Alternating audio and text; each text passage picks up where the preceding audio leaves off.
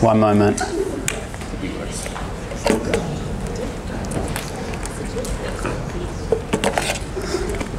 Sorry, technical difficulty. Uh, but uh, other than that, uh, we are off to a good start. Uh, I have my pants on. Um, and for some, for some context on that, uh, I'm the, I'm the fill-in. a guy called Anthony was meant to be teaching tonight. Uh, and, and James called me and he's like, hey, uh, would you speak at Regen? And I was like, I'll get back to you. Um, and then he, I didn't get back to him. Uh, so I'll admit at the start I'm a liar. Uh, and so this message I will bring to you is, is for myself too. Uh, that, and he came back to me, and so I, I prayed about it. I, I, I talked to my wife about it, uh, and then eventually I finally said yes. Uh, and then that night, uh, I'm not even lying, I, I was in bed uh, and all I could think about was what I had got myself into. Uh, and, and what kept flashing before my eyes was standing in front of everyone uh, with, a, with a Bible and no pants. Uh, and so that's why we're off to a good start. these aren't make believe, these are real way. good. All right. So my name's Toby. I used to work here uh, I don't anymore, uh, but I'm back. Is that enough about me? Uh, I, ha- I have a wife. Um, we have four kids. Uh, when, I, when we had our first child, uh, we would go to the scans. I would put on pants like these and I'd call them my adult pants. Uh, and so I think I am dressed like an adult tonight. and we are, are doing good. Um, but I'm way I'm off track already, so let me let me see where I'm going. Oh, uh, I want to say thank you uh, to Totara Springs, uh, and I think you guys should too. It, it's the Regen is is choice, isn't it? Yeah. Where we get to come and just hang out, fellowship together. A whole bunch of different churches. I don't even know uh, how many churches are represented here at the moment. You may not even be from a church. Uh, but Totara Springs takes the time to invite people who love the Lord Jesus Christ uh, to proclaim Him to us uh, and we get to listen and worship by sitting under the Word of God. And so I want to say thank you to Totara Springs that they still endeavour to do that. I want to thank you, thank all the staff that have uh, put time in, uh, and particularly I want to thank James uh, for heading it up. So uh, a thank you to them.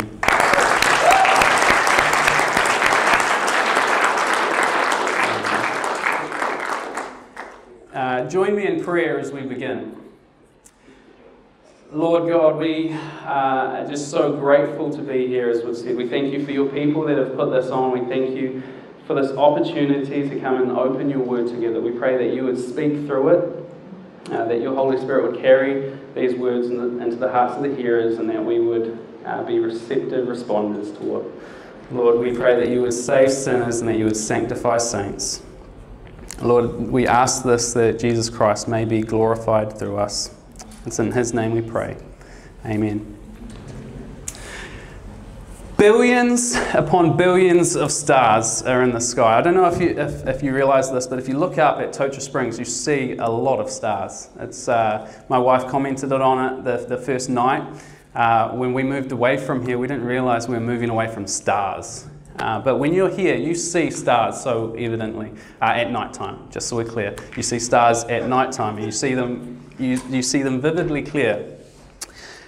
And in the Psalms, we see, if you, if you want to begin, uh, in Psalm 8, verse 3, uh, we read, When I consider your heavens, the work of your fingers, the moon and the stars which you have ordained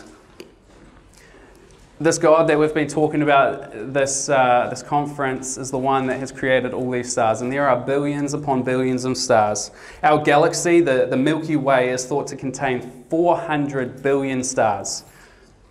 Now, if you were to count all the stars in our own galaxy, uh, if you were to count two at a time every second, uh, it's not hard maths. It would take you 200, uh, 2 billion, oh man, I've already failed. It's, it's not, I just said it's not hard maths. Uh, you, it would take you 200 billion seconds to count all the stars in our own galaxy. Uh, the, the, seconds, eh? That doesn't that doesn't sound that impressive. Uh, but if the, all these seconds adds up, if you were to put that into a, a time that we understand, it would take you 6,337 years, 225 days, 13 hours, 33 minutes, and 20 seconds to count every star. Uh, that's counting two stars uh, a second continuously without sleep for nearly six and a half thousand years.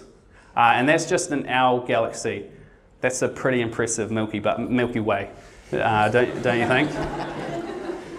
Um, but that's only our galaxy. Let's, let's up the ante. Uh, Tony talked about a, a, supercomputer this morning. So let's say we have a supercomputer. Um, I forget what it was called, uh, but it's doing its teraflops, uh, and it's it's able to count 10 million stars a second. If it was to count all the stars in the galaxy that are estimated to be there, it would only take 63 million years. Counting 10 million stars every second takes 63 million years, is what it's estimated. I want you to, I want that to, to sink in for you. Because we just read, when I consider your heavens, the work of your fingers, our God is the one who created them. We say things like, oh, yeah, I know that God is big. But do we really understand what we mean when we say big? He is like, we, we the stars are big, I can't even stretch my hands big enough to kind of give the idea of how big our God is. We, we fail to understand our God and how vast and how immense He is. This creation of God is big, but the Creator is bigger. We wouldn't even register as a speck of dust in comparison to Him, if you think about it. Yet tonight I've been given the task of, of asking and, and trying to answer the question how does God, this God that created everything, how does He respond to us? How does this big God respond to little man? Why is that? Why do we even assume that God thinks about us? Why do we think that He cares about us? That He interacts with us? Why do we think this big God thinks about little us?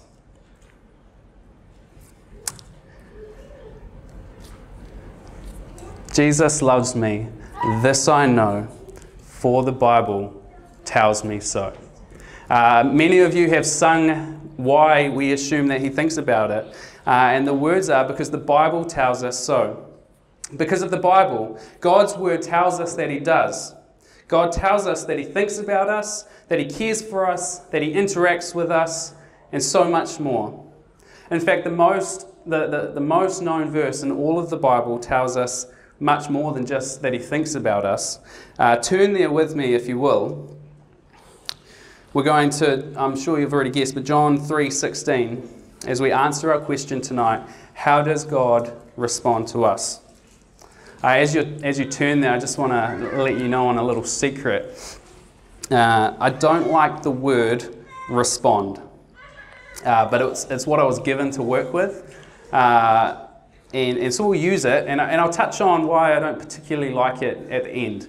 Uh, but we go into John 3:16, We'll be going to a lot of verses. We're not going to be hunkering down in one. Um, so I want you to keep your fingers nimble and your minds focused.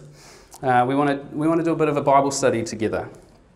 Because the Bible has a lot to say about this question that we're asking. So John 3.16 says, I, I probably don't even need to read it. You already, most of you already know it, hey? For God so loved the world that he gave his only begotten Son, that whoever believes in him shall not perish, but have eternal life. Not only does God think of us, not only does God uh, interact with us, But God loves us. It's, it's what the Bible says. It's what we sing as a child. It's what we have just been singing about now together.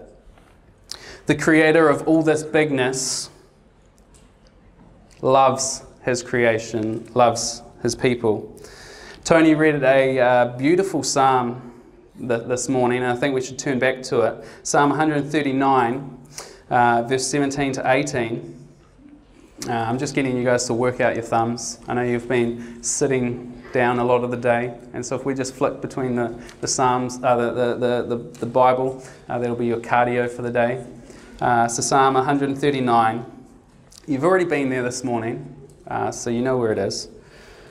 139, verse 17 to 18 reads How precious also are your thoughts to me, O God! How vast is the sum of them!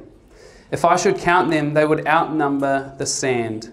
When I wake, I am still with you. We've just uh, read that God created billions upon billions of stars, and on one planet there are some people, and we've read that He so loved them. This should blow our minds. But we, God's creation, um, are loved by Him. And, and, and it doesn't. We, we forget that. I know as a, as a child, I would used to uh, make some epic Lego creations. Uh, has anyone else done that? Uh, you know, Lego, you like put them together, uh, you make cool things. Maybe you don't make cool things, but I did. Uh, I made some epic Lego creations, and I would love what I had done but I wouldn't actually love the creations themselves that I had made.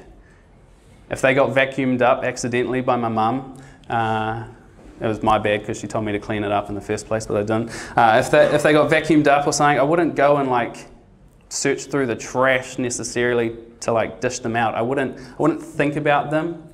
I wouldn't care for them. I wouldn't like, I wouldn't love them. That just seems like the thought didn't even cross my mind. But we, as God's epic creation, are not only on our Creator's mind, but we're in His heart. We're loved by Him. And I think sometimes the familiarity with uh, this, this verse that we're just told over and over and over again, it just causes it to remain cold. We, we know it in our heads, but sometimes it doesn't come into our hearts. It's a, it's, it just doesn't become a reality. It's, it's like a textbook that we, we, we go to on Sunday, we do the lesson, and then we don't put it into practice. But God loves you. Do you realize that? These words should stir your heart. They should motivate, motivate your whole entire life. They should transform you from the inside out. But if we're honest, they don't always, do they? We, we say they do, and then we act like they don't. The best way to, to, to fix this problem, to be transformed by the love of God, I think, is to, to speak specifically about it. We don't want to be general or vague, we want to be specific. Therefore, we need to carefully contemplate and consider this love of God. And from the outset, we must distinguish that the Bible teaches us that God has different types of love. We'll touch on these as we go along, um, and, uh, but I think you guys kind of already get the concept. I love KFC. And I love my wife. But I hope she knows that the love is different. Um, that my, my love for my wife far exceeds my love for Wicked Wings. Um, and I hope you guys can tell the difference. Uh, I, I, do. But what, we, what I'm trying to get at is that God has a, a general love for the world. He loves all of his creation, and he also has a specific love for his people.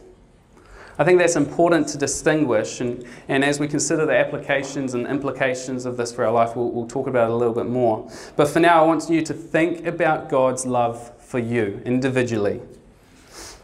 Because if what we've learnt about ourselves is true, recall back to the first message that we are sinful, and if what we've learnt about God is true, which was the second message, that He knows all things, then He knows our smallness, He knows our sinfulness, He knows our ugliness, He knows. So, what the heck is He doing? Loving us. Does that conjure up a problem in your mind? We, doesn't it make you see that we have a problem? The Bible thinks we do. And I want to get your fingers going again, so I want you to turn to a few passages with me to see this great dilemma of ours. Go back near to the beginning, Exodus chapter 34, verse 6. This is such a great uh, passage of God just declaring who He is. Exodus 34, verse 6. Then the Lord passed by in front of him and proclaimed, The Lord, the Lord God, compassionate and gracious, slow to anger and abounding in loving kindness and truth, who keeps loving kindness for thousands, who forgives iniquity, transgressions, and sin. And you're thinking, There's no problem. He's a forgiving God. But verse, uh, it, it carries on. Yet he will by no means leave the guilty unpunished visiting the iniquity of fathers on the children and on the grandchildren to the third and fourth generations. There's a, there's a problem. We're all guilty. And God won't leave us unpunished, it says. If you flick back a few, a few chapters, Exodus 23, the end of verse 7 says, um, I will not acquit the guilty. That means he won't free the guilty. Criminals will be punished, is what he's saying. If you turn over to Job, even Job knew of this problem. He says in 10 verse 14, if I, sin, if I sin, then you would take note of me and would not acquit me of my guilt. Nahum 1 verse 3 says, The Lord is slow to anger and great in power, and the Lord will by no means leave the guilty unpunished. I, I think you're getting the idea and, and, I'll, I'll, try to paint the, uh, the, the problem for you. It's as if God shouldn't love you. That's the problem. You and I, we do not deserve the love of God, but we act like we do. But the Bible says that we don't deserve it. The Bible says we deserve punishment. Yet we've just read and we've just sung that He does love us. He does love us. We know He does because of John 3:16. It comes straight to our minds. We know He does because we sing those songs. We know He does because the Bible says He does. And this is where God's love is so, so amazing. Because we see His love acting to solve this problem of ours. God's love is not, oh, I really like them, I really love them. I'll just, that sin, that problem, i will just sweep it under the carpet. Um, that's not how He loves us. His, his love for us is so much greater. Flick back to the New Testament with me. Romans chapter 5. And uh, I just want to say this is an encouragement to hear pages turning. Uh, it's good. Romans chapter 5, verse 6 to 8. For while we were still helpless, at the right time Christ died for the ungodly. For one will hardly die for a righteous man, though perhaps for the good man someone would, would dare even to die. But God demonstrates his own love toward us, in that while we were yet sinners, Christ died for us. This is the great, awesome love that God has demonstrated to sinful mankind. Even while we were sinners, Christ died for us. But if you ask questions, surely you ask the question how does that actually help? How is someone dying helpful? Uh, last week, I, or was the last week? The other week, uh, I was at Origin, um, and there's a whole bunch of youth running around, and so this, this kid lined up for some food. I was accidentally standing there, uh, and I was like, "Oh, sorry, are you lining up for food?" And he's like, "Yes, obviously," and I was like, "I'm not." This is how awkward I can be. Um, and and so I was like, "But can I give you some spiritual food?" And, uh, and yeah, I know that like that's why I got married so young. Like those lines just flow out of me. Um, and uh, and he was caught off guard. Said like, what is he going to do? Say no? He, he said yes. And so I. Uh, I said, We've just been in the, in the message where the guy's been proclaiming to us the gospel. He's, he's talked about Jesus and he talked about how he died. And I said, How does Jesus dying on the cross help you? And he said, Well, well he, he's God. I said, Okay, how does a God man dying on the cross help you?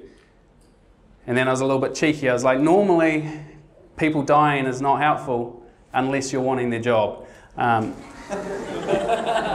and and uh, he didn't give me such a good response. Um, he, he still didn't answer the question. He's like, uh, uh, you are not, not sure.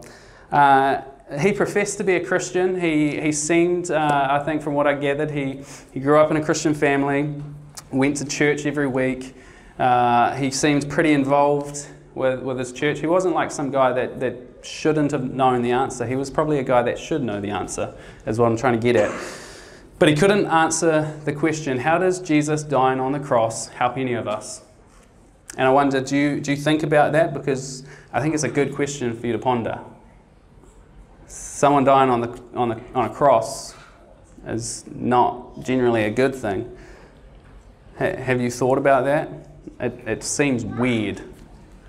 Uh, and uh, if you want to go and share this message with the world, you should realize that this message is going to seem weird. Uh, but thankfully, we're not left to, to guess the answer. Uh, we don't make it up out of thin air. Uh, we don't try to put some Christian jargon on it to, to make people think we're smart when we're actually just hiding it. The Bible gives us the answer. Another passage answers this question for us with one word. How kind of God, eh? Just to give us one word. It's like, hey, this big kind of question, one word. So jump forward in your Bibles with me to 1 John chapter 4. And now that I've told you it's one word, when I go to pronounce it, I'll probably stuff it up. 1 John chapter 4, verse 9, and we'll read verse 10 as well. By this, the love of God was manifested in us, that God has sent his only begotten Son into the world, so that we might live through him. In this is love, not that we loved God, but that he loved us and sent his Son to be the propitiation for our sins. Did you catch it? I didn't stuff it up, I don't think. Uh, so I didn't give you that hint, sorry. The answer to our great problem that we've been discussing is, the, is a great display of God's love, and it comes to us in just one word. Did you catch the word? You are allowed to say yes. Like. Or no, you're allowed to say no as well. I don't only expect correct answers. Uh, the word is propitiation. In your translation, you might have something different. You might have something like atoning sacrifice uh, or sacrifice to take away our sins. Uh, and they're all good. The, they're all conveying the same idea that the, the idea is that um, the idea that is being conveyed is that Jesus on the cross accomplished something. He didn't just die on the cross, and that was like a good lesson for us. He did something specific on the cross. It's not just a good example, it's so much more than that. It accomplished our sins being atoned for, our sins being paid for. The price of our sins has been paid. Romans 6:23 says for the wages of sin is death. You re- recall when you go through Romans, Romans uh, 3.23, for all have sinned and fall short of the glory of God. Romans 6.23, for the wages of sin is death. You, you know that, eh? people walk you through that. And you're like, oh, okay, so a wage is something that you're given from your work that you do, something that you earn. Uh, and the Bible tells us that our life, the wage that we deserve for our life, is death. This wage is what is being paid on Jesus on the cross. What we deserve, he, he is taking on the cross. Instead of it being paid to us, it was paid to Jesus Christ. The sinless Savior who didn't deserve it or earn it, or um, yeah, just, he didn't deserve our sin, our, our wages, but he accepted it in our place. Propitiation. When Christ was on the cross, he was satisfying the wrath of God that you and I and all of us deserve. The wrath of God that should be poured out upon sinners was instead poured, poured out upon the sinless Savior, Jesus Christ. We call Jesus the Lamb, and this is one thing the guy at, at Origin was able to say. He was like, ah, when, when I asked him that question, he was like, oh, well, when Jesus died on the cross helped me because he's like a lamb. I was like, yeah, it's a, uh, we have a good roast on Sunday. Um, and he's like, ah, something about like Old Testament sin. Uh, we call Jesus the lamb because he was like the Old Testament lambs that were who, who were slain for the Israelites to, to like take away their sin. Uh, and that's why he's called the Lamb. This is how God so lovingly responds to us, to those whom he saves. He dies in their place. God's love isn't just an emotion that's like, oh, yeah, let's sing songs about it. God's love was shown to us in an act, a great act that we should seriously contemplate, consider, and follow after. There's a lot that could or ought to be said about this. We really should walk through from Genesis to Revelation and see how propitiation is the heart of the gospel. Uh, but this is just the introduction of, of what we're going to do. Um, we, we can really get to the, the good stuff now. Are you ready for that? This is um, by way of, of recap of, of, of, the introduction, to make sure that you're tracking along and following with me. We asked the question how does the God of the Bible respond to us? Uh, the first thing I said was, I don't really like the word respond, uh, but we'll grow with it. Um, but how does God act towards us? And we see the Bible answer, John 3:16, he so loved the world. Then we looked at how he specifically displays his love to those whom he saves.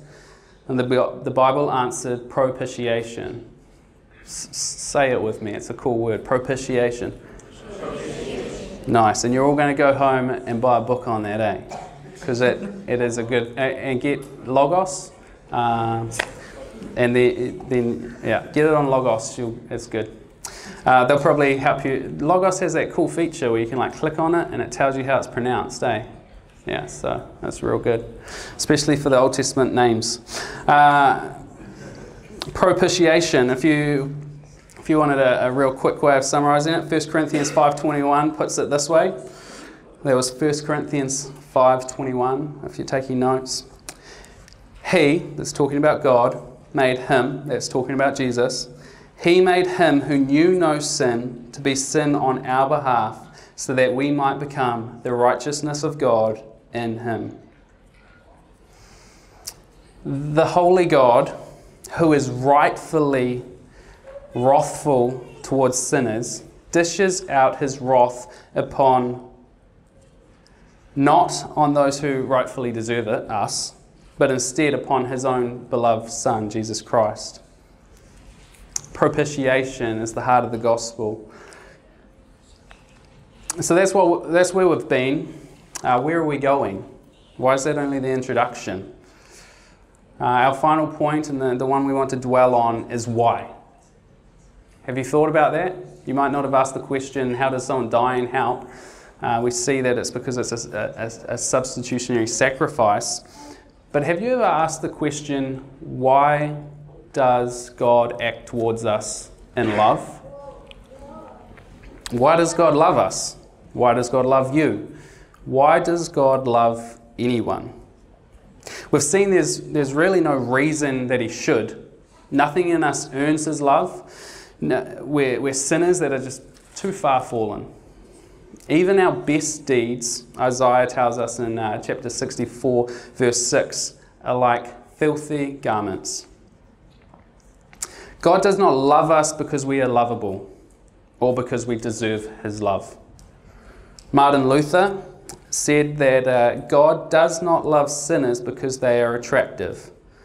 That's good because then I would have not been loved. Uh, but sinners are attractive to God because he loves them. So then, why does God love us? This short question is uh, one of the hardest ones I've ever grappled with. Uh, I've, I've, I tried pulling my hair out, but it, it hurt, so I stopped, um, which is it's good advice. Uh, but have you thought about that question? Why does God love you? We know that He does, but why? As I was studying up on this, the most, com- the most common answer that I heard or read was some- goes something along the lines like this. 1 John chapter 4 verse 8 there's a phrase that says God is love. Therefore because God is love, he has to show his love towards people because that's just who he is. Um, and so the greatest way for him to show that he is that God is love is for him to love those who don't deserve it. Um, let me get, make sure I got that wrong. Uh, let me make sure I got that right. 1, 1 John 4 verse 8 says that God is love. Therefore, because love is in God's very nature, he has to show love. He has to use this love, as it were. Because he has to show love, he then chooses to pour it out upon those who don't deserve it, to show how great his love is and how great he is. There's a problem with that. God doesn't have to do that. He's not some lonely God sitting up in heaven needing to, to pour his love out upon anyone. From all of eternity, he has had perfect love and until eternity future, He will always have perfect love. He has already been showing and receiving perfect love forever. God has always shown love and He has always received it. Never once has this not taken place. Therefore, He doesn't need to love us, He's not required to. This doesn't answer our question why He loves us. It only attempts to tie God's hands to an action he doesn't need to take. We are yet again left with our original question why does God love anyone? Why does he respond to us in love? Because we know that he does love, but why? I think to understand why he loves us, we need to understand this love of God that he has been enjoying uh, for eternity. We need to understand God's intra Trinitarian love. Uh, that's a fancy word, actually, a fancy for two words uh, with a hyphen. Uh, it's just a fancy way of saying that the three persons of the Godhead. Did anyone go to the, the, the Trinity talk today? Nice, there's a couple. So you guys are well prepared. Uh, the Trinity has always loved one another. Three persons, one being the Father loves the Son and the Spirit, the Son loves the Father and the, and the Spirit, and the Holy Spirit loves the Father and the Son. Three persons, one being, for all of eternity, been showing love to one another. 1 John 4 8 says God is love, and that's true. And they have always and will for always be showing love to one another. They don't need to pour it out upon anyone else. They each love one another. Simple. And they always will love one another. So then, why does God love us when He doesn't need to? And uh, I was trying to come up with a really smart answer, just something that would just like blow your minds. Uh, and I was, I was wrestling with it for ages, and I spoke to a friend, and, and they're just like, you're, being, you're, you're overcomplicating it. It's because he chooses to. And I was like, oh, yeah, I've been working on this for hours, and you just see these few words. He chooses to.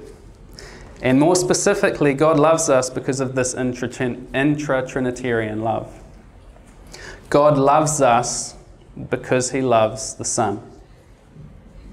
Let's go back to God's word to see this. We started in John chapter 3, verse 16, and, let's, and so let's go back to that book. Uh, there's John, if you just want to read about God's love, just read that gospel and you will be confronted with it over and over again. But we'll jump ahead from that chapter and bypass a whole heap we could look at. Um, and we just want to go to John chapter 17. Uh, while you're turning there, uh, I uh, just want to do a shout out for Logos. uh, no, but if, if, you, if you're interested in this topic, because we're, we're just scratching the surface. Um, but if you want to if you want to have a bit more understanding, uh, D.A. Carson has a great little book uh, I think it's less than 100 pages. So if you're like me, that should get your attention because you could be like, I can read that. Uh, 100 pages or less. Uh, and it's called The Difficult Doctrine of the Love of God. Uh, and it's a great little book on this topic. Uh, John chapter 17. We'll look at verse 6 to 11. I have manifested your name to the people whom you gave me out of the world. Yours they were, and you gave them to me, and they and they have kept your word. Now they know that everything that you have given that you have given me is from you. For I have given them the words that you gave me, and they have received them and have and have come to know in truth that I came from you, and they have believed that you sent me. I am praying for them. I'm not praying for the world, but for those whom you have given me, for they are yours. All mine are yours, and yours are mine, and I am glorified in them. And I am no longer in the world, but they are in the world. And I am coming to you, Holy Father. Keep them in your name, which you have given me, that they may be one, even as we are one. And I know we're just we're jumping into the middle of a, of a portion here, but Jesus is praying to God the Father, and in this prayer, we note that God the Father has given something to God the Son. We see that believers are given to God the Son. Believers are a gift to the Son from the Father, whom you gave me, you gave them to me, you have given me, you gave me, the reason we are loved by God is because He loves the Son. The reason we are loved by God is because He gives us as a gift to the Son. The reason we are loved by God is because He chose us as a gift. You and I are a gift to the Son who died for you and I. What a gift it is to be a gift. As I said, we've only really scratched the surface, so I encourage you to get that book or to, to dig through the, the Gospel of John. Um, I, when I elected to, to, to speak on God's love, uh, I thought it would be the easiest subject. I was like, this is a, a pretty sweet gig, you know, God's love. Um, but I've quickly found out that it's one of the hardest. It is immense, it is deep, it is vast. Um, it, it's, it's hard worked. And, and even the Apostle Paul uh, in Ephesians 3, he prays for his beloved uh, brethren in, in Ephesus, uh, chapter 3, and you can read his prayer, uh, verses 14 to 19, I think it is. He prays for the believers there that they might know the breadth and length and height and depth of the love of Christ, which surpasses knowledge this topic that we're scratching the surface of surpasses knowledge. May that too be our prayers for ourselves and for each other. We started in the heavens with the stars made by God in Psalm 8. Turn back there with me, Psalm 8. and see what else the, uh, the psalmist has, had to say. Psalm 8, verses 3 to 4. When I look at your heavens, the work of your fingers, the moon and the stars which you have set in place, what is man that you are mindful of him, and the Son of men that you care for him? What is man? We are a gift from the God, uh, from God the Father to God the Son. How blessed we are to be this. How foolish we would be to not dwell on this and to, and to contemplate how it must. It should. It, it, we often say this should change your life, but really, if this is true, then it must change your life. As I've just said, we, we started in the stars, but I want to finish in your hearts. How do these two truths that God loves us, uh, He loves us, and He acts in that love with propitiation, uh, and secondly, that God loves us because of His love for the Son, how do these two truths change our hearts? And therefore change how we live today, tomorrow, and forever. I want to give you a, a, few suggestions. All of us in this room, whether you say you're a Christian or not, all of us should love God because He loves you, even though you don't deserve it. You should love Him because He loves you, even though you don't deserve it. Who thought of uh, who's, who's thought of like getting married one day? Nice. I mean, if you're honest, probably all of you put your hands up. Um, uh, but when you're thinking when you're thinking about merit, now the guys are giggling. Like, I didn't put my hand up, but I've definitely thought about it. Um, but when you think about it, you don't think about going to get someone that, that doesn't deserve you, do you? You don't think about, oh, I'll go get someone that definitely needs work.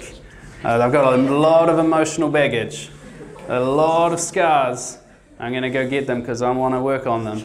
Uh, you kind of you, you kind of want to get someone that's like mutual, you know. Uh, but we should love God because we're that person with a lot of emotional baggage, a lot of emotional scars, and He has chosen us to set His love upon us in an immense and unfathomable way. You need to love God. You really do. So that's how it first should change your heart. Love for God.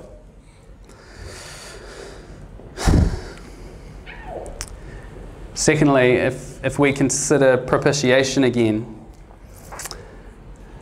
all of us in this room have a wage that we will be paid one day. And you have a choice to make.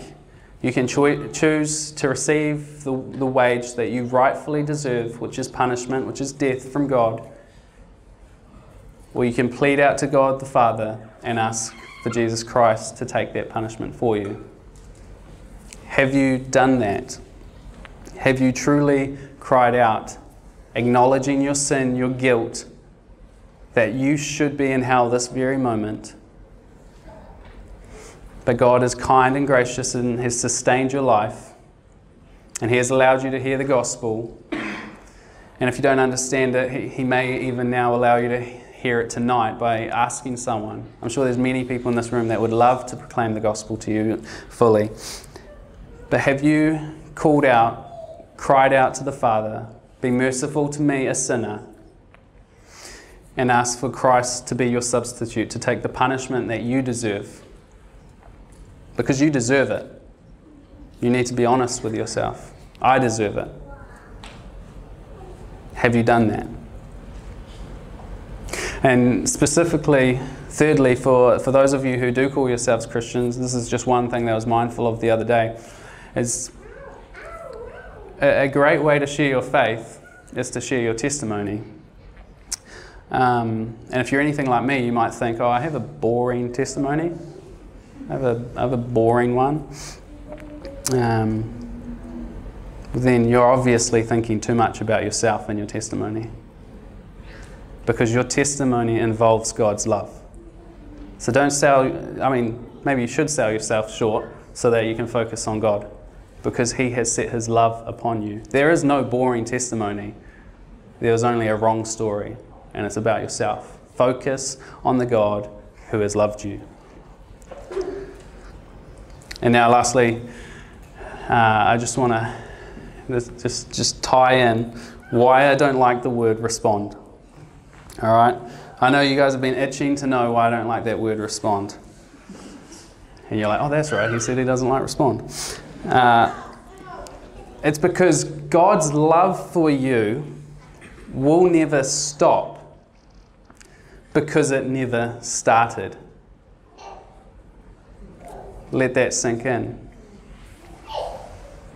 If God is the same yesterday, today, and forever, which He is, He is an unchanging God. He is an immutable God. He doesn't change, He doesn't react. And when I hear the word respond, I think of react. God isn't a reactionary God. He is a God that has eternally acted. And so his love on us is forever secure because he doesn't start to do things because that means he would have changed. His love for us will never stop because it never started. I want you to, to dwell on that and to let it in, infest in your heart and to just bust forth in like praise and worship of this great and kind God. God loves you. God loves his people specifically and in a specific way through Jesus Christ. Let's come to this God and, and thank him for that. Almighty God, our all loving Father, who are we that you should love us? No act or no word, no thought of ours could cause you to love us. The only answer to your love is that you chose to love us. You chose to love us because you love the Son. We are a gift from you to Him. And Lord, what will we say to you in response now? We stagger for words. We're silenced in wonder. And we are speechless with awe, Lord. But help us to say thank you. Thank you, Father, for loving us. We are not worthy of this great love. Much less are we worthy of being your sons and daughters, which we see through the other passages of Scripture. To, to be adopted into your very own family. Lord, how great a love you have for us. Lord, I pray that you would help us to understand this. I know that it's unfathomable, but help us to understand it more and more so that we can love you more and more. Lord, help us to be lovers of you because you are lovers of us. In Christ's name we pray. Amen.